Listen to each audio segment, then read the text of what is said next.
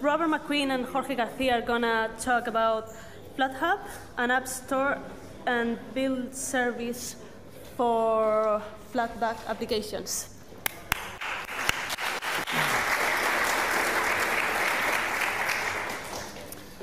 Hi everyone, um, my name is Robert McQueen and I work for Endless. I have just moved to become the VP of Platform.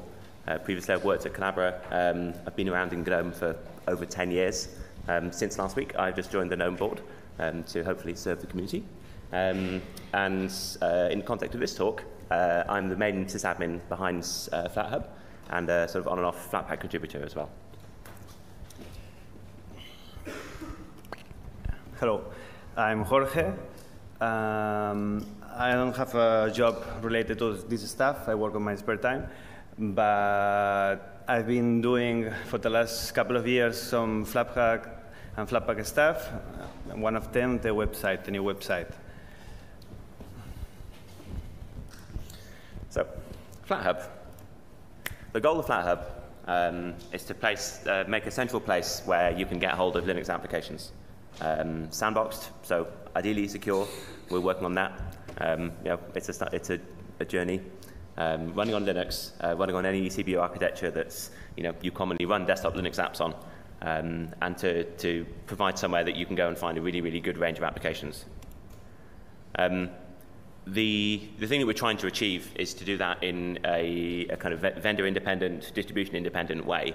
Um, one of the kind of learnings from you know 15 or so years in desktop Linux is that the the kind of fragmentation between distributions has been one of the barriers to, to actually having a, a healthy application ecosystem. Um, I think kind of case in point is in FlatHub, there is over 100 applications that are in FlatHub that I've never heard of. And these are very, very well polished, very well executed um, free software applications that do stuff that I would want to do on my computer. Um, and they've not made it through the gauntlet of submitting here and being built there and then meeting these standards and someone else taking it, blah, blah, blah. So the idea is that, that we have an independent place where application developers can go and put the application there and people can get it. So we're, we're trying to disintermediate. Um, the other thing is that uh, Flatpak itself is a very decentralized technology. Um, but that doesn't really give you a good place to start. So you have a tool that can run an app. You don't have an app. You're not going to be popular as an ecosystem, popular as a technology, unless you have a way to bring in app developers and a way to bring in users together. So FlatHub is also to bootstrap this. Our goal is not to be the only place that you get Flatpaks. Um, the, the goal is to make Flatpak itself a successful format and something that you can benefit from as a user um, and a developer. Um, so different activities inside the project. Um, obviously, we have a lot of people who bring their applications. We have people who bring other people's applications and testing them, building them. Um, there's a, you know, there's a, a, team that's working on the website. Um, that's how Jorge joined the project, is through um, a wonderful new web app that actually shows the applications that we have. Um, we've actually been kind of working together, you know, FlatHub and Flatpak working together as a community to improve the developer story, the documentation around how do I make one of these things, how do I get it in, um, you know, what are good standards for actually putting an application together. Um, and then getting the message out there, so different types of activities to, to actually, um, you know, have a, a, kind of Twitter plan and make sure that people can hear about FlatHub and, and what we're doing there. Um, to keep the project successful, the most important thing that we need we need your apps. Um, we, uh, the whole goal of this is the not that we're producing a distribution. We're not trying to be a place of people that do packaging. Um, in a sense, it's a necessary evil. Some people are better at building stuff and some people are better at writing software, so it's a partnership. Um, but the goal is not to produce a new community of people who, who build software. The goal is to produce a place where if you have an application and you want to get it out there, then there's a community that you can join and publish your work. Um, in amongst that, we have various develop, uh, development tasks. So in a sense, I'm trying to automate some of the infrastructure. So there's kind of DevOps stuff and Ansible and all of these things that I didn't know how to use until last year. Um, and we have the website, different technologies there, and Flatpak itself. Um, so different programming skills. Um, and yeah, then there's a whole, a whole bunch of activities to support the documentation and the marketing and the website. Um, so if you have any of these skills and you would like to join a wonderful free software project, then obviously FlatHub would love to have you on board. Um, so what do we actually have? Um, since uh, beginning of this year, we have a very nice uh, website which actually kind of starts to look like this kind of app store concept. You can see what's here, you can see what, um, what's available, what's new, what's been updated, um, what we think is cool, um, and you can get it, screenshots and, uh, and open the uh, applications to click a link and it would start in your um, uh, app center in your distribution. Um, so Flatpak is integrated into GNOME software and KDE Discover um, and basically can present all of the Flatpak apps and can install them with a click from the browser. Um, who's behind uh, FlatHub? The, uh, I have to apologize for this pie chart because actually we, we worked on this internally in Endless to basically figure out whether we were kind of distorting the, uh, the picture. Um, and the good news is we're not. Um, actually, just shy of half of the apps on FlatHub are, are contributed by the original author or somebody who works on the upstream team. Um, the other half of that is a mixture of uh, community and, and some kind of working in partnership. Um, but we have uh, over 200 individual contributors working on different apps inside the, the, the FlatHub organization. Um, we had a fundraiser to actually get our infrastructure started last year, so we have 21 individuals to thank for actually having a system at all. Um, and yeah, five people doing an incredible amount of work on reviewing the initial submissions and making sure that we have some you know, kind of common standards of, of the applications, um, and then another five people who've been working on the website and some of the, uh, the marketing. Um, thank you to companies that are also supporting FlatHub. Um, we use a lot of CPU, we use a lot of bandwidth. Um, so the server companies, um, Fastly, CDN, Mythic Beasts, uh, web hosting, um, and CodeThink, uh, Scaleway, and Packet are providing um, build workers to actually get the software built. And we are also bringing on pre-render for search engine magic stuff, something to do with Node, I don't understand. But yes, also there are many companies. Probably that's an incomplete list, so I apologize. But if you would like your name here, then um, please let me know. Um, developer time and, and, and other contributions. So um, we are, you know, basically a year old. Um, we, we sort of launched um, uh, launched around this time last year at GUADEC. Um, the idea kind of came from the GTK Hackfest in London um, at the beginning of last year, um, where we, we kind of played with the idea and um, Alex did a kind of little prototype build bot and we, we kind of put some stuff online and, and um, yeah, stuff built. Um, we, we got 40 applications in there. Um, you know, Endless had a little backlog and so we, we sort of got the ball rolling. Um, and we, we launched at GUADEC. Um, and we started adding then these third-party kind of download applications of Slack and Spotify and uh, Skype and Steam, is really cool. Um, and we we generated the, the application list statically, which is kind of terrible, but uh, you know, there were apps on the web page. It was good. Um, towards the end of last year, we, uh, in Endless OS, we turned uh, FlatHub on by default. So um, FlatHub had 100 apps at that point, um, and we helped to get uh, LibreOffice into, um, into FlatHub, um, which they're very happy with because they can then kind of publish and people can get the new release straight away. So that's, um, that's a really cool app uh, to, to have. Uh, for Endless, we moved from LibreOffice 5 to 6, so everyone was overjoyed. Um, Linux Mint, uh, towards the end of last year, enabled um, the FlatHub uh, repo by default as well. Um, beginning of this year, um, Jorge's uh, new website went online. Um, so we had this kind of App Store feel, and we actually had pages with details and search and all these things. And had 200 apps at that point. Um, and then most recently, we've put this website online. Uh, we're now up to 300 apps, and the graph is just going, basically. So it's really, really cool to see.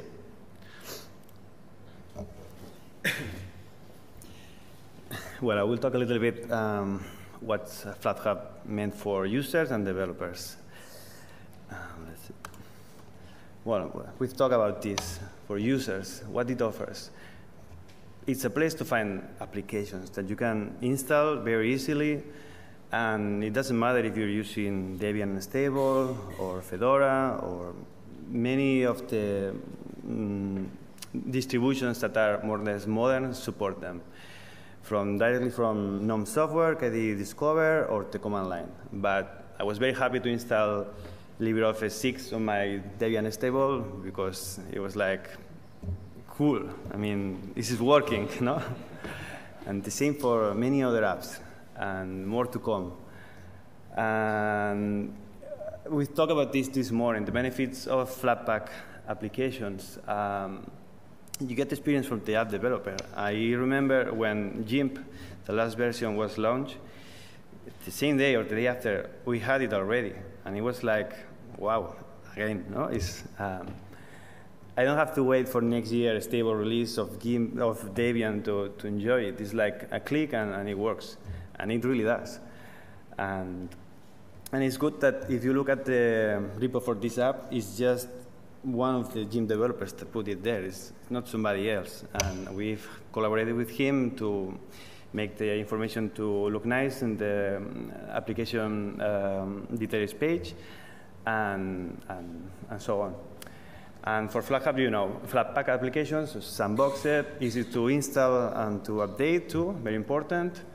And what they said about the app developers. Let's see.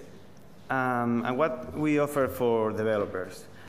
Um, as I said, a single point to publish your application and to reach um, a big number of users and, and distros. Um, and the apps will run as you build them. It's, it doesn't depend on the user's computer that might have a different version of one that makes it broken, break. Um, if it works on your computer, it works in uh, Flatpak app.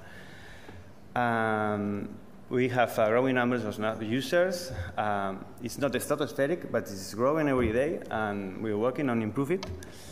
And also, I find uh, reading on, on IRC that some people has problems to build their applications for ARM and other architectures.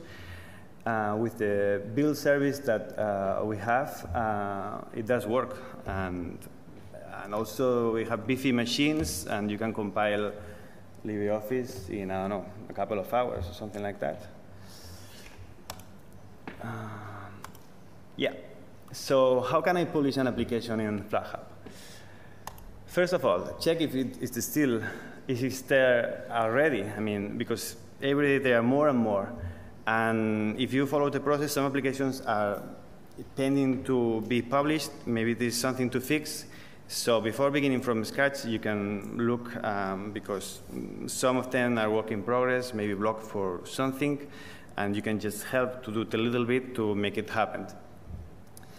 Uh, for instance, uh, on Monday there is a workshop that Alex will do about uh, building uh, Flatpak applications. We encourage you to go.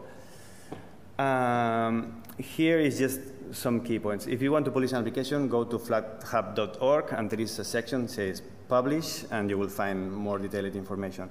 But in a nutshell, uh, we you, depends on the license of the application. Um, you will be able to build it there or um, make an app downloader like the Spotify, I think. Um, the requirements is also about the app ID, and you need to provide um, app data and other stuff, so everything looks fine in the website and GNOME software and Discover. Um, if you are not the main actor of the of the application, you can contact them nicely and say, "Hey, are you interested? I can help." And because what we want, especially, that the main developers of the applications they publish their apps at FlatHub. And and in the end, um, um, making a, flat, a, new Flatpak application is building the manifest and telling which runtimes you need. And if you use some libraries that are very common, there are some shared modules that you can put in your Git repo, and it will help uh, with the process.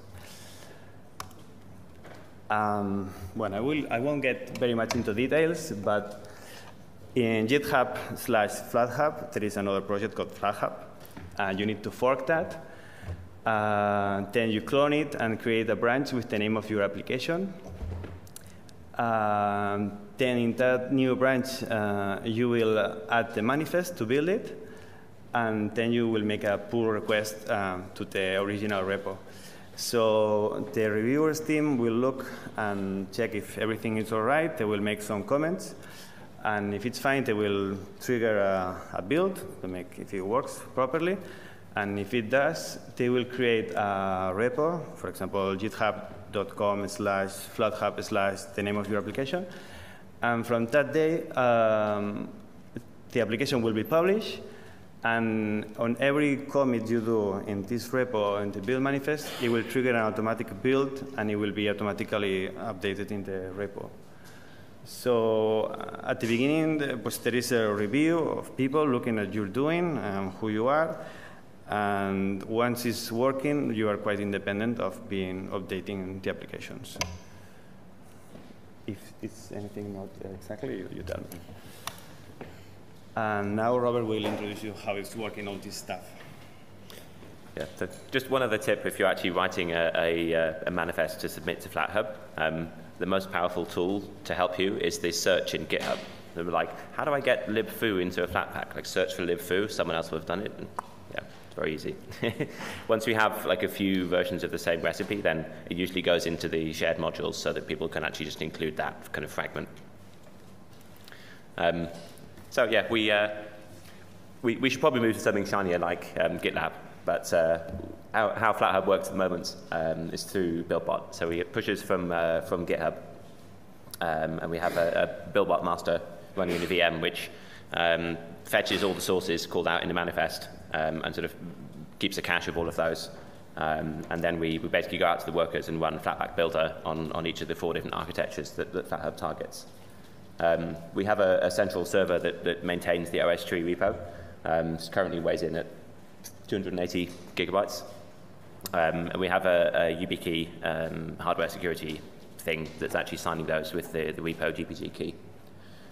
Um, we have some front ends, so we're, we're basically uh, in two different data centers in London, uh, proxying and caching the, the repo um, so that we're not hitting the live servers.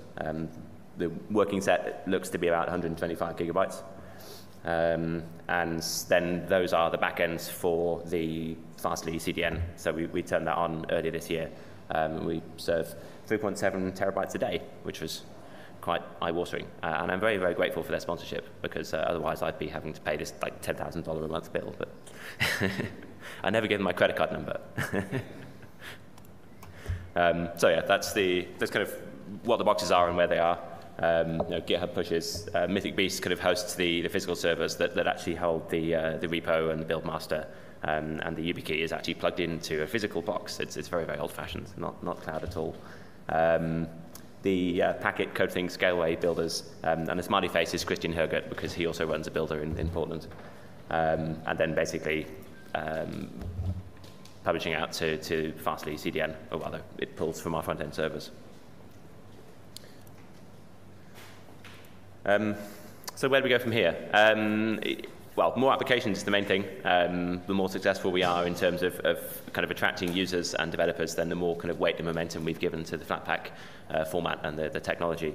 Um, and the more kind of guinea pigs we have to actually kind of ratchet up the security of the sandboxing to actually say, well, you know, these are this is what uh, GTK needs to, you know, use the file chooser in all cases, or you know, this is what Pulse Audio needs to ask you permission for the audio device. Um, so we can actually, actually have te test bed in order to actually show that we're delivering on the security benefits. Um, it's really hard to actually develop those things unless you have applications who are using those. Um, you come up with something in a vacuum and get it very wrong. Um, we're looking forward to, uh, to hopefully getting some closer support from the GNOME Foundation. Um, so they have a, a, second job opening for um, system administrator, DevOps, um, and we're hoping to share some of the work of the FlatHub project with the, the staff from the foundation. Um, I also feel like we could do some more clever sharing of the infrastructure. Um, you know, uh, Packets.net uh, is sponsoring like a FreeDSF SDK and it's sponsoring um, FlatHub. We've got you know six of these giant like 96 core servers and we can build stuff very very quickly. And you know, there's another six over there, and maybe we could have 10 and we can do everything just as fast. Um, and the same with uh, GNOME's own CI workers. So GNOME's GitLab and all of this could be potentially one thing if we were a bit more joined up. Um, in terms of uh, improvements to the actual infrastructure itself, um, I'm, you, you, know, BuildBot got us off the ground. Um, it's not necessarily, it's not a system that's designed for continuous delivery. So it doesn't track like one input goes to one output.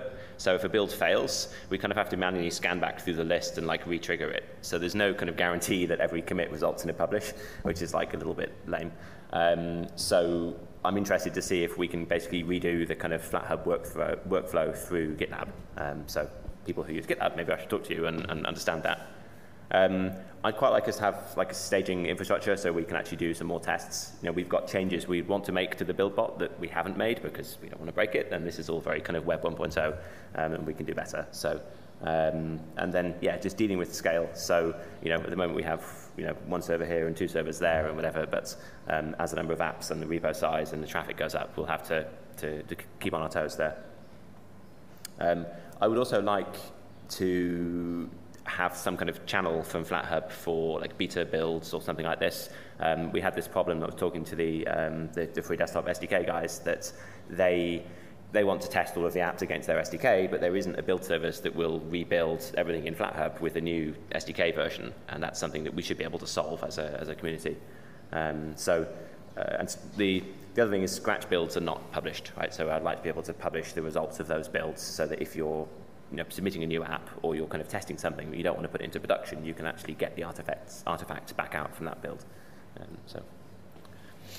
And about the website, uh, I would like to have it in different languages um, because it's not just English around. And um, at pues, typical stuff, you will um, have no uh, ratings, uh, reviews. Um, stats and different kinds of search, mm, search applications by license, um, ratings and stars, well, these uh, kind of things. Also, yesterday, some people were asking me about if I could list the run times and maybe the amount of applications that we're using each runtime. There are many ideas that uh, we can make to, to improve the website.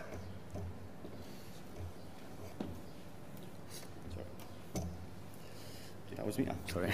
sorry. Um, so um, I hope we encourage you and we'll tell you a little bit if you want to help us, what can you do? So just you're a user, enjoy it. I mean, we have more than 300 applications and you can very easily install. Try them, see if they work well. If they don't, fill a book and, and we'll try to help um, tell your friends, tweet about it. Um, we are we have been tweeting a little bit more about the application on FlatHub recently, but for sure we can always do more to spread about the nice list of, of. Um, you're a developer. You have an application. Publish an, in FlatHub and see what happens. I mean, maybe you'll have feedback immediately since you publish the applications, and you will be able to uh, fix the bugs easier and faster and, and enjoy this uh, new system. And if you are a company and you want to help us, pues contact with Rob and we will be with open arms. And yeah, this this is the 200 and something people who've contributed to FlatHub on uh, GitHub so far. So um, never mind us. Thank you to all of our wonderful contributors. Um, and yeah, thank you for listening.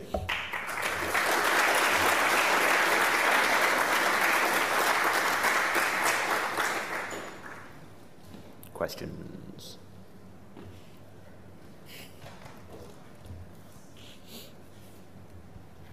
Hi, Rob. Hello. Uh, what's the plan about curation? Is there, is there any intention to kind of give some seal of approval on applications, or is it just a free-for-all? Um, hmm? I did the question. We don't do videos microphone. Oh, sorry. um, the we're not aiming to do that in all cases. Um, the, the thing that we care about the most is that the application is what it says it is and comes from the real publisher of that application. Right. Um, so in a sense, we, we don't really want to get into the game of kind of auditing and checking the contents of the applications. Um, right. I think over time we will need to do that um, that you know, as a, as a kind of trapping of popularity, we'll have to deal with you know, potentially malicious uploads and, and looking at scanning and this kind of stuff. But yep. I think we would try to do that in as automated a way as possible, and then do the kind of speedy removal of stuff that's reported as uh, you know, questionable or, or, or bad. Um, we don't really want to make this a very human-intensive process. Um, the, the initial review is more intensive because we, we have the kind of standards of, of metadata and, and you know, build kind of cleanliness and this kind of stuff that we try and get in place. Um, so there's a hurdle to get in, um, but the idea is essentially that we're, um, we're not the publisher, we're, we're just a kind of channel from the publisher to the user. Um, so we don't want to kind of get too involved in, in all of that. Um, but we, we do want to do kind of linting and make sure that the kind of technical standards are maintained. And I, I think over time we'll have to work on this kind of um, making sure that we remove and we're responsive to any problems. Okay, thank you.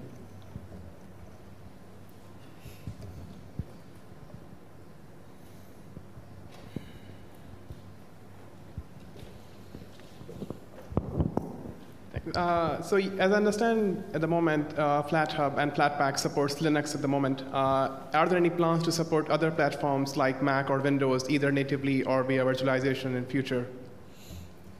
I think Alex tried Flatpak on the Windows thing, and it's not quite there, or? It almost works. it almost works. so Flatpak on the Windows Linux emulation thingy might eventually work. It almost works now, but not quite. Yeah. I mean, it's, it's not really a goal of ours. If it works, great.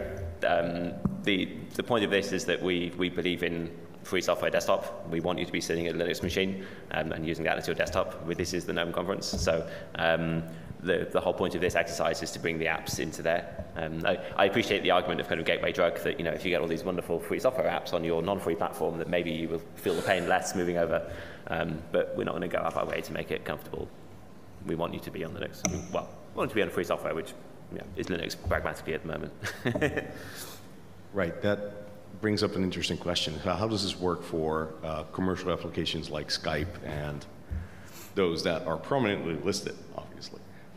Well, we're in a grey area, right? The, um, we're trying to set up a conduit that lets applications get to users. Um, the most important thing to us is that those users are on a, a, an open source um, desktop system. Um, I think that we would do ourselves a disservice uh, as a, a, project if we basically sort of denied or shut out the existence of these applications because then you're, you're actually actively dis discouraging people from using the ecosystem. Um, so we have a slightly different position on this than, you know, with my own board hat on, I should say, you know, down with that sort of thing. Um, and ultimately, that's what I want to see. Um, but also, if we're just saying to users, like, don't use our system, we don't have a compelling offering, then we may as well not bother, right? Um, so I, I want them there as, as long as Linux applications exist, um, so that we have a complete offering. Um, but, you know, I don't like them, right? They don't, yeah. I'm assuming that they don't use the build service at all, right? No, so, so the, the, the extra data Flatpaks, um, they basically are downloaded on the client side, so that the, the checksum of the deb file and the URL are included, um, and anything else that you need to, to build or run the application is included inside the Flatpak. Then when you install it, you basically get the extra stuff and kind of you know, unpack the deb um, and put the stuff in place. Um, but interestingly, we, we've got uh, our Spotify, for example, supports high DPI when upstream Spotify doesn't because we have wrapper script that changes the zoom value. Thank you, Cosimo. But, you know, we can add value.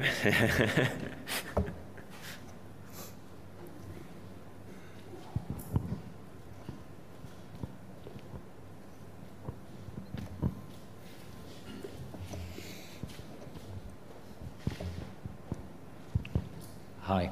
Um, since you didn't mention it, and I know you worked really hard on it, would you like to tell everyone how awesome the source distribution stuff is as well, and how users can get access to the source of their applications and all of the stuff that was built there? Ah, yes. Um, so the, there is a feature in um, Flatpak which um, basically takes all of the source that went into a particular build and then commits it as a Flatpak extension. Um, so this is turned on in FlatHub, which means that for every application that we publish, then you can also get the source for it as well um, which makes for a really cool developer experience in Gnome Builder. You can just say like that, build that, get me the source code. And because the build is reproducible with the manifest, you can redo it on your system and you can get all the source that went into that particular Flatpak and just start developing it straight away. Um, so, yeah, it's very cool.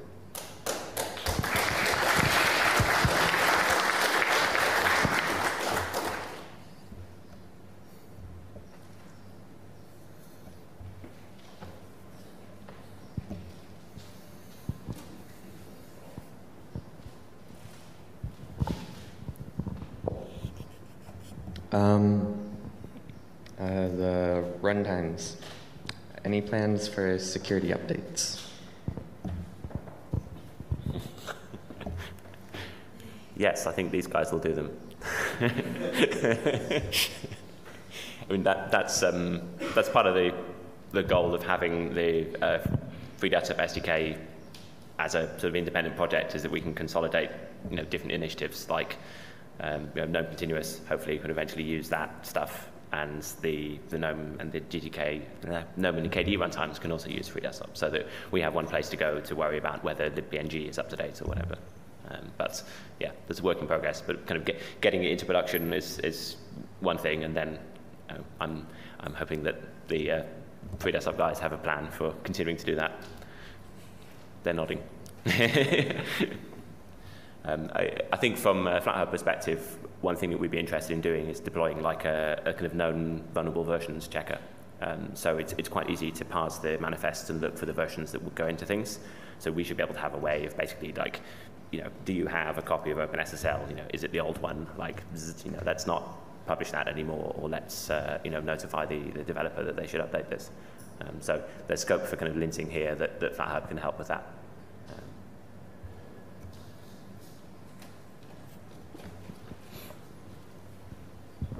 You mentioned that um, a couple of the, the goals that you don't have for FlatHub are curation or excluding closed source applications and things like that, right?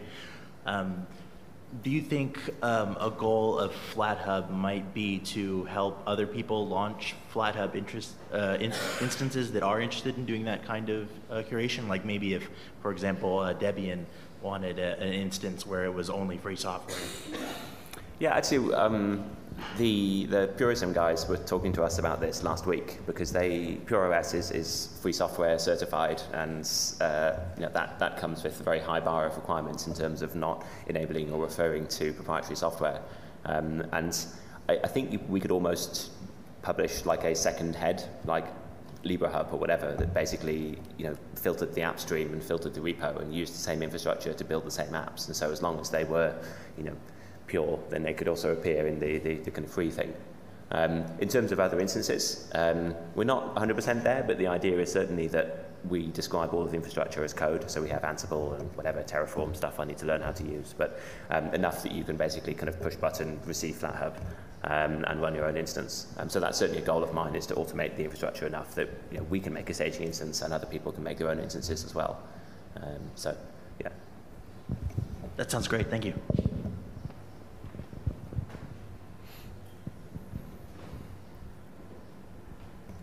Great. Thanks so much.